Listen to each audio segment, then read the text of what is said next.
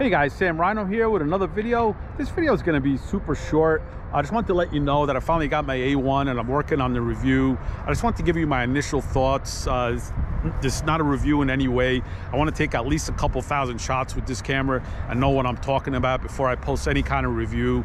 Uh, I don't like to BS people, so uh, you know, when I post a review, it's going to be after I had uh, a lot of experience with it and know what I'm talking about. And it's not going to be, you know, I'm not going to find things wrong with it that don't exist and call it a shocking review like some people. Uh, so, you know, it's going to be an honest review the way that I use it, shooting in wildlife, the way that you would use it.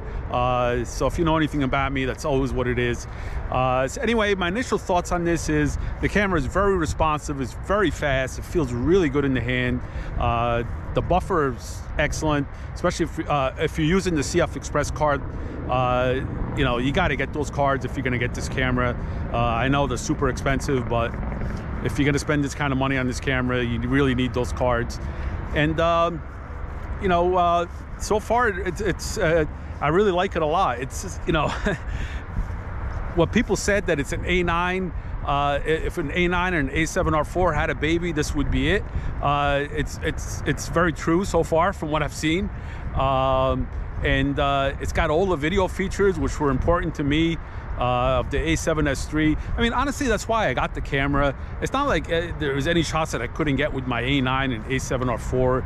Uh, they're both fantastic cameras. I just wanted a camera that does it all. I was thinking about getting the A7S III, and it didn't make sense to me. I, you know. to add a third camera. I hate switching bodies. I really wanted a camera that does it all and this definitely fits the bill. Now I hope it's you know it lives up to that. Uh, doing all th uh, three things great: autofocus, uh, resolution, and video.